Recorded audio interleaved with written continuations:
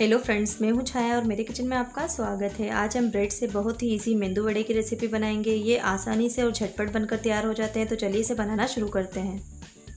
सबसे पहले हम लेंगे चार मीडियम साइज़ की ब्रेड तो ब्रेड को हम छोटे छोटे टुकड़ों में तोड़ लेंगे।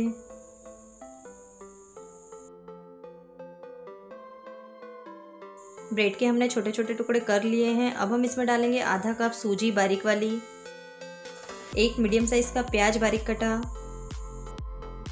दो हरी मिर्च बारीक कटी हुई, आठ से दस कड़ी पत्ते जिसे मैंने बारीक बारीक काट लिया है, एक इंच अदरक का टुकड़ा जिसे मैंने कद्दूकस कर लिया है, वन फोर्थ कप हरा धनिया बारीक कटा हुआ, टू टेबल स्पून कॉर्नफ्लोर, आप इसकी जगह पर टू टेबल स्पून चावल के आटे का भी यूज़ कर सकते हैं, हाफ़ टी स्पून नमक नमक आप अपने स्वाद के अनुसार डालें, वन फोर्थ टी स्पून काली मिर्च पाउडर, हाफ़ कप फ्रेश दही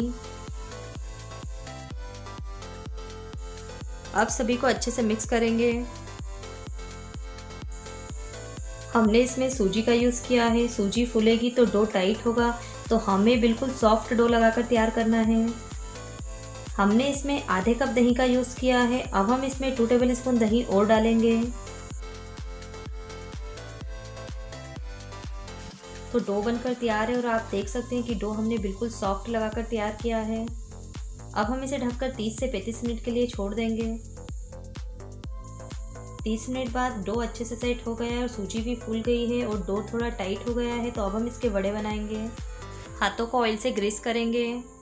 अब हम थोड़ा सा डो लेंगे और इससे वड़े का शेप देंगे। बीच में होल करेंगे।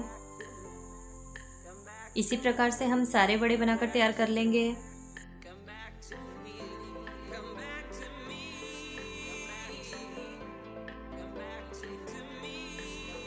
तो सारे बड़े बनकर तैयार है तो अब हम इसे फ्राई करेंगे। गैस ऑन करके पेन में तेल गरम कर लिया है। गैस की फ्लेम को अब हम मीडियम टू लो रखेंगे और बड़े को तेल में छोड़ेंगे। एक बार में हम इतने ही बड़े डालेंगे कि आसानी से फ्राई हो सके।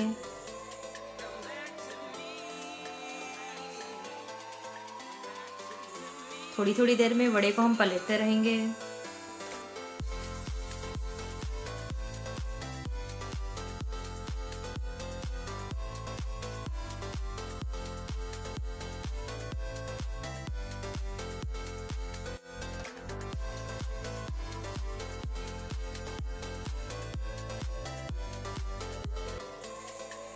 तो वड़े पर बहुत ही अच्छा सा गोल्डन ब्राउन कलर आ गया है तो इसे अब हम निकाल लेंगे।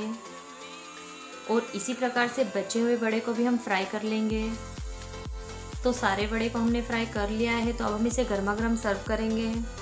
तो लीजिए तैयार है ब्रेड से बनने वाली बहुत ही आसान सी बेंदू वड़े की ये रेसिपी इस रेसिपी को आप एक बार ज़रूर ट्राई करें और रेसिपी अच्छी लगे तो वीडियो को लाइक करें फैमिली और फ्रेंड्स में शेयर करें और चैनल पर नए हैं तो चैनल को सब्सक्राइब करना ना भूलें। Thank you